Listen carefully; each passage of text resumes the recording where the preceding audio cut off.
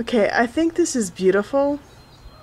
Now forgo the houses, but look at how the trees are like that white color in the dark sky.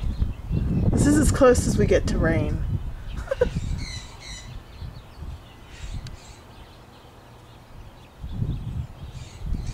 it just looks so pretty from outside the window.